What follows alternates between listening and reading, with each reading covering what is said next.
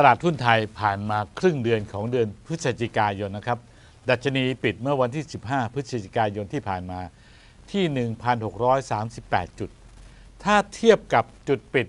เมื่อสิ้นเดือนตุลาคมที่ผ่านมาที่ 1,623 จุด เราบวกมา 15 วัน เฉลี่ยวันละจุดนะครับ นี่คิดเสาร์อาทิตย์ด้วยก็คือ 15 จุดเท่านั้นเองสองสัปดาห์ที่ผ่านมา ตลาดหุ้นไม่ไปไหนครับ ย่ำเท้าอยู่กับที่เคลื่อนไหวในกรอบที่แคบมาก แกว่งตัวขึ้นน้อยมาก และความหวังว่านักลงทุนต่างชาติจะกลับมา ถ้าดูตัวเลขนะครับ การซื้อสุทธิสะสม ในเดือนพฤศจิกายน ยอดรวมทั้งหมด 1,516 ล้านเท่านั้นเอง ไม่มากนะครับ ถือว่าความเคลื่อนไหวของนักลงทุนต่างชาติ ในการขนเงินกลับมาลงทุนในตลาดหุ้นไทย ยังไม่มากพอที่จะขับเคลื่อนให้ดัชนีไปไหนได้ไกลนะครับ มาดูตัวเลขเศรษฐกิจกัน สภาพัฒน์เพิ่งประกาศ GDP หรืออัตราการขยายตัวทางเศรษฐกิจ ในไตรมาสที่ 3 ปีนี้ ปรากฏว่าถดถอยติดลบไป 0.3%นะครับ ถือว่าไม่มากเพราะว่าคาดหมายกันว่าอาจจะติดลบ ในไตรมาสที่3เนี่ย0.8%ถ้ารวมงวด 9 เดือนแรก GDP เราโต 1.3%นะครับไปสะดุดมากในไตรมาสที่ 2 ที่ติดลบไปถึง 6.7%และคาดกันว่าปีนี้ GDP เราจะโตประมาณ 1.2%ก็ดีกว่าช่วงประมาณไตรมาสที่ 2 ที่ประมาณกันว่า หลังจากเกิดโควิด แพร่ระบาด ระลอกใหม่ คาดกันว่าเราจะติดลบนะฮะ GDP ปีนี้ลบหนึ่งบ้างลบมากกว่านี้บ้าง แล้วก็ประมาณการกันมา แต่ตอนนี้ก็เชื่อกันว่ามีโอกาสบวกแล้วครับ แต่บวกไม่มากพอที่จะกระตุ้นตลาดหุ้นได้ นักวิเคราะห์โบรกเกอร์ต่างๆทำนายว่าปลายปีนี้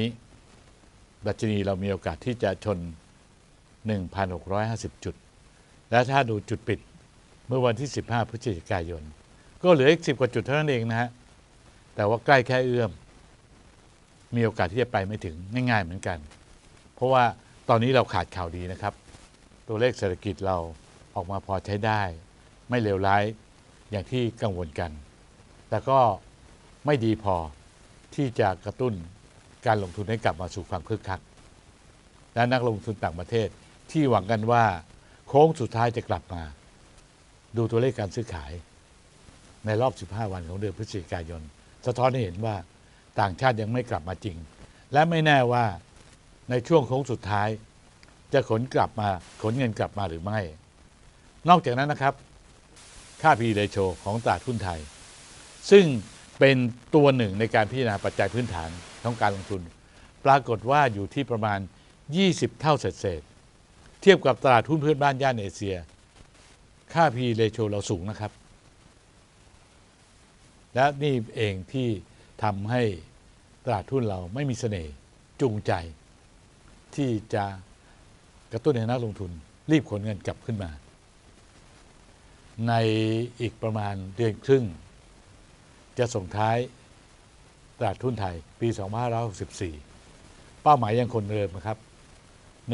1,650 จุดในปลายปีนี้ หวังว่าจะได้เห็น หรืออาจจะไม่ได้เห็น เพราะว่าจากนี้ไปยังไม่เห็นปัจจัยที่จะกระตุ้นความเชื่อมั่นนักลงทุน เว้นเสียแต่ว่า ตัวเลขผู้ติดเชื้อโควิดรายใหม่ จะลดลงอย่างรวบภาพ แต่ตัวเลขล่าสุดก็ยังทรงตัวอยู่ระดับ 6,000 7,000 อยู่ ดังนั้นนะฮะบรรยากาศการลงทุนในเดือนพฤศจิกายน ทำไมถึงไม่คึกคัก มีคำตอบครับ 1. ราคาหุ้นเรา โดยเฉลี่ยแล้วตอนนี้ไม่ต่ำสองประเทศไทยยังขาดข่าวดี โดยเฉพาะเรื่องการฟื้นตัวทางเศรษฐกิจ ซึ่งยังไม่เห็นสัญญาณที่ชัดเจนนะครับ ดังนั้นในอีกเดือนครึ่ง เราจะเล่นกันในตลาดทุนในช่วงแคบๆแกว่งตัวขึ้นลงในกรอบแคบๆและโอกาสทำกำไรสำหรับนักลงทุน มีน้อยครับ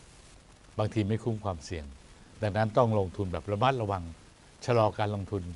แล้วหวังว่าจะมีสิ่งดีๆ ปัจจัยใหม่ๆ ชี้นำตลาดทุนให้เกิดความคึกคักส่งท้ายปีเก่าต้อนรับปีใหม่